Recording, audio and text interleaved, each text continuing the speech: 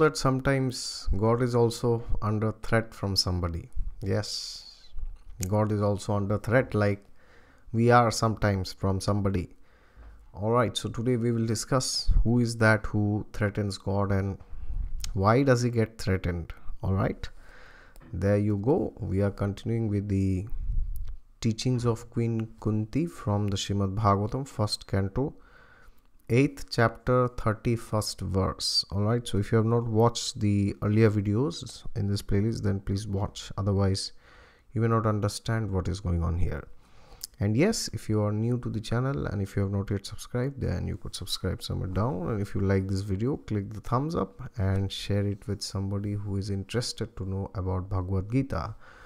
All right god is there with you all the time. Just look to him and you will find him and yes if you want a consultation from me regarding any area of your life then you could go down to the description section where you will find the link to my website.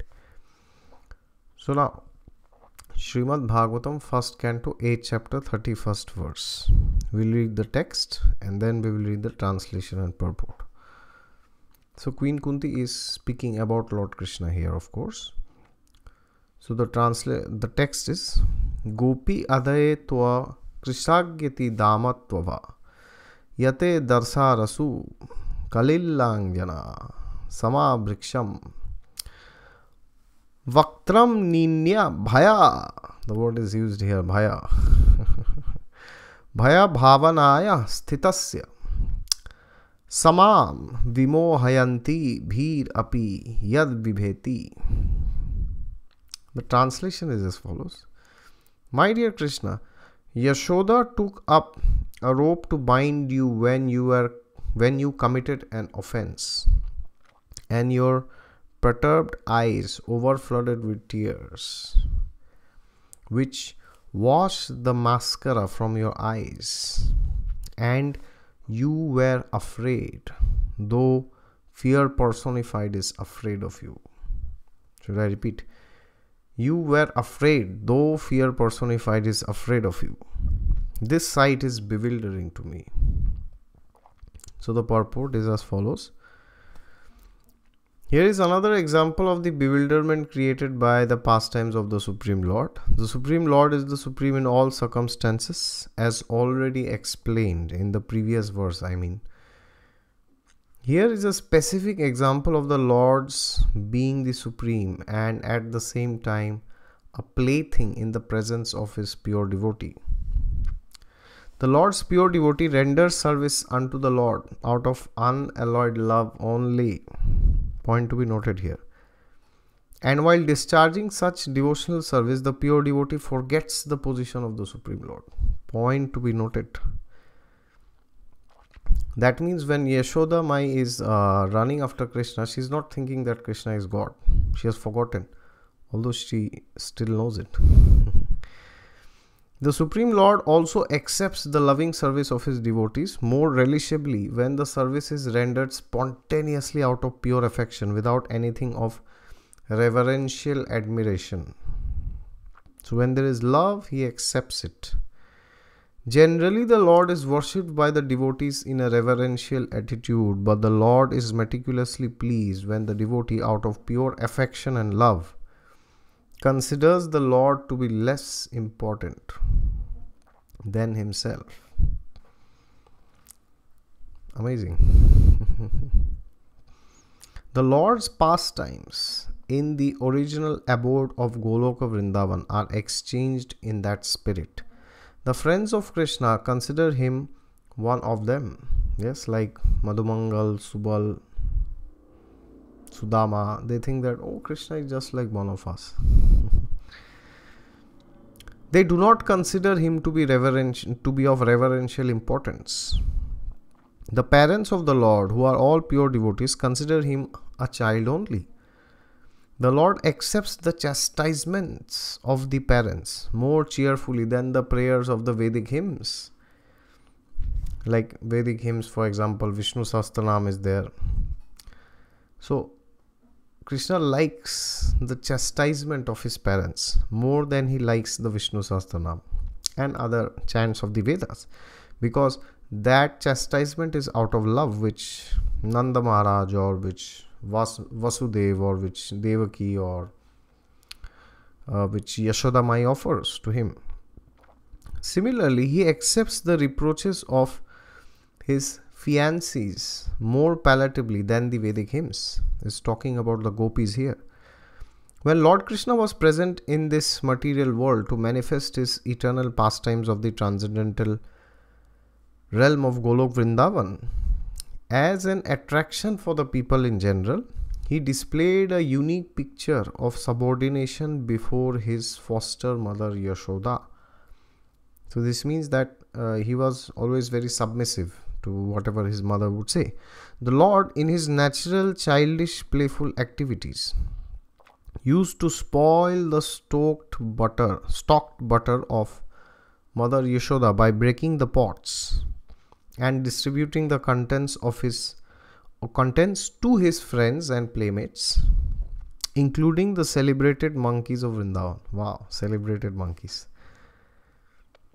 who took advantage of the Lord's munificence. So that means uh, Krishna would, you know, distribute the butter and the yogurt and all these things which uh, Mother Yashoda would very carefully make for him. To whom? To his friends and to the monkeys. Wow. So they took advantage of the Lord's munificence. That's what is said here.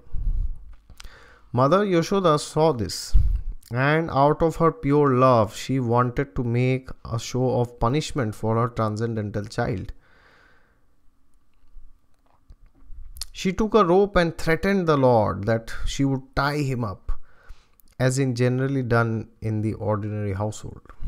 So, in India, in villages, then if somebody does some pranks or you know a child is very naughty, then the mother will come and say that you know next time you do this i'm going to tie you to that tree. You're finished. I'll rip you apart.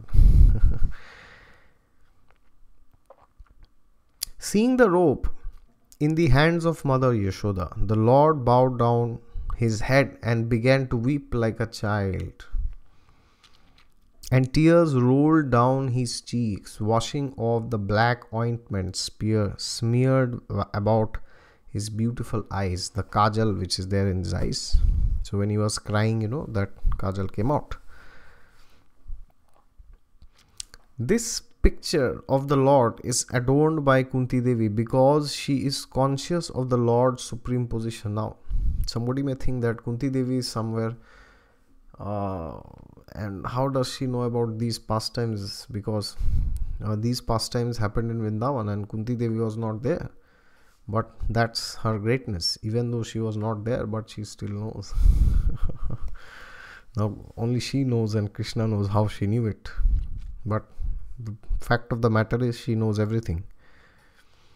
This picture of the lord is adored by kunti devi because she is conscious of the lord's supreme position he is feared often by the fear personified. We fear somebody yes. But even that fear is fearful of god.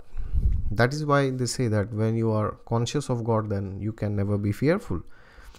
He is feared often by the fear personified yet he is afraid of his mother who wanted to punish him just in an ordinary manner kunti was conscious of the exalted position of krishna whereas yashoda was not point to be noted Kunti was conscious of the exalted position of Krishna, whereas Yashoda was not.